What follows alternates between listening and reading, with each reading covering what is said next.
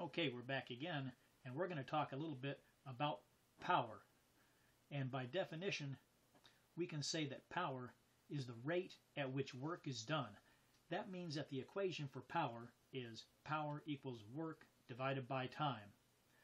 And because of that, we can set this up using, remember that magic triangle to help us rearrange the equation? We should be able to use this to solve for either power, work, or time, depending on the variables that are given in any given problem. So we know that power, P, equals work, W, divided by time, T. That's the equation.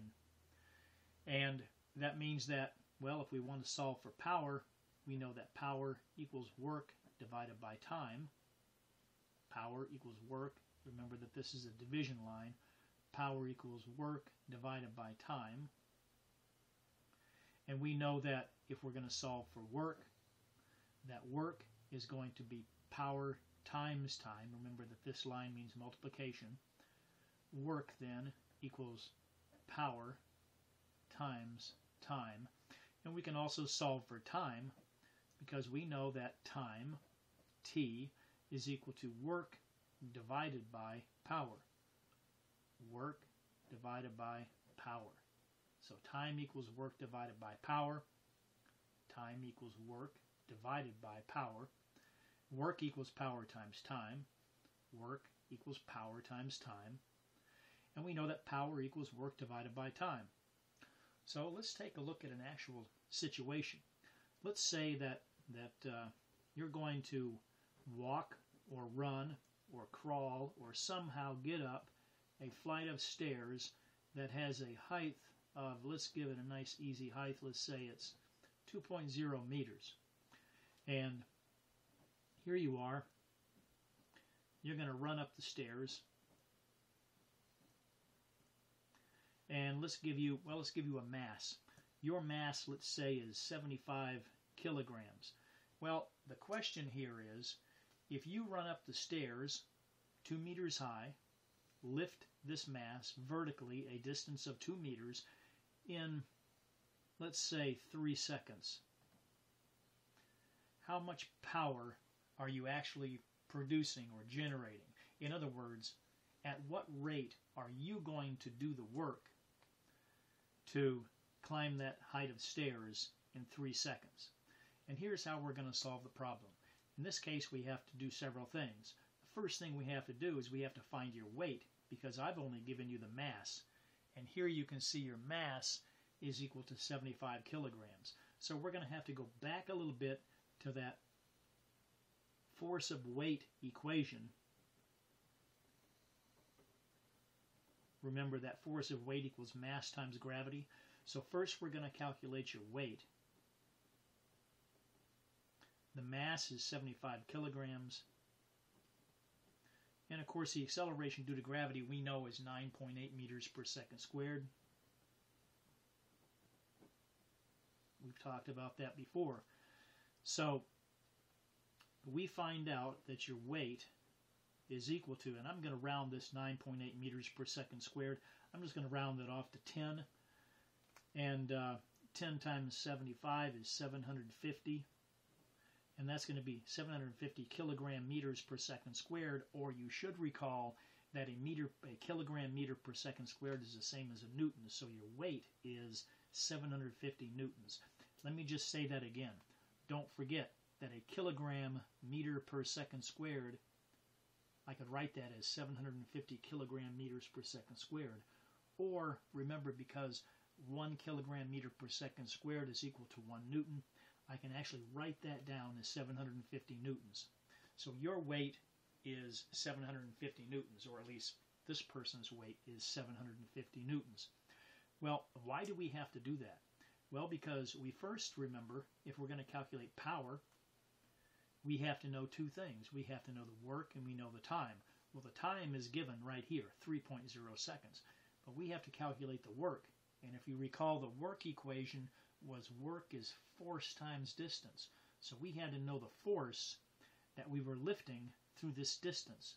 And that force is your weight which is not 75 kilograms, but 750 newtons. So what we're doing here is we're moving this force through this distance to do a certain amount of work in a particular time, which is in this case 3.0 seconds.